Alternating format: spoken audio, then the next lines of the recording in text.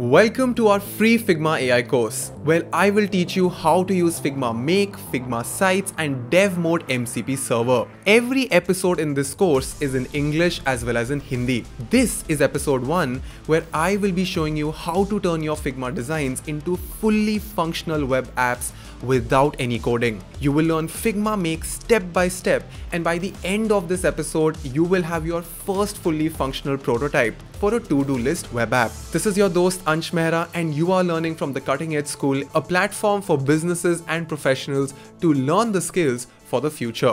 Now to get started, you need to go to figma.com and create your account. I would recommend you watching our foundational Figma course if you've never used Figma before. Now this playlist will help you get familiar with Figma from scratch. Figma Make and other AI features are now out of beta and are available to starter plans with a few restrictions. So without further ado, let's start with chapter number 1.